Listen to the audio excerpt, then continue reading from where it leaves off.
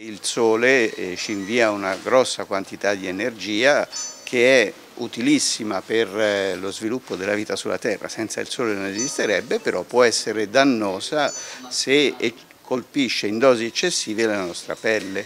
Da una semplice irritazione, un eritema solare, fino ad arrivare invece a conseguenze più importanti. Il sole è un importante alleato del benessere psicofisico dell'uomo, ma una scorretta esposizione può anche causare l'insorgenza di ustioni, eritemi, invecchiamento cellulare precoce, sino alla comparsa di tumori. Gli ultravioletti che arrivano dal sole contribuiscono a quello che è il fotoinvecchiamento cutaneo eh, la nostra pelle come tutti gli organi invecchia, c'è un invecchiamento supplementare dato dal sole. Le rughe, le macchie, tanto per fare due esempi, sono accentuati dall'eccessiva esposizione solare.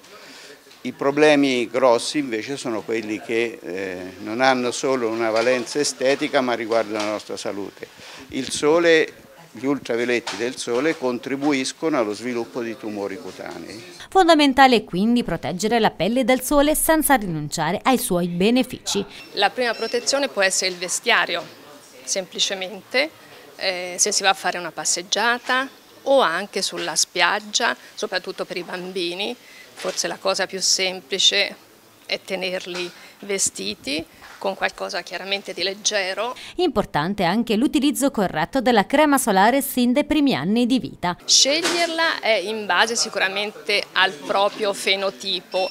Eh, come si sa ce ne sono sei, penso che ormai sia di dominio pubblico, si va dal primo appunto al sesto, quindi una pelle chiarissima fino a quella più scura in assoluto, va messa spesso, direi ogni due ore, Sicuramente sì, sicuramente appena si esce da, dalla, dal mare, dopo un bagno, è importante asciugarsi e riapplicare la crema, perché comunque una parte si perde e quindi va riapplicata. Quanta, anche quello è molto importante, si considera più o meno tipo una tazzina da caffè, eh, su tutto il corpo chiaramente. Nel periodo estivo c'è un altro aiuto che ci viene dalla natura, con l'alimentazione. Frutta e verdura colorata, arancio, gialla, rossa, sono ricche di carotenoidi, di antiossidanti che in parte cercano di limitare quelli che sono i danni degli ultravioletti sulla pelle. La prevenzione dei tumori cutanei infine passa anche dallo screening dermatologico. Il controllo principale dovrebbe essere quello che ognuno fa a casa propria, cioè ogni tanto guardare la propria pelle, magari farsi aiutare da un familiare per eh, controllare le spalle, i glutei, dietro le cosce, zone che difficilmente si esplorano da soli e controllare che non ci siano cose nuove, lesioni nuove, soprattutto differenti dalle altre che uno eh, diciamo, impara a, a conoscere guardandosi ogni tanto.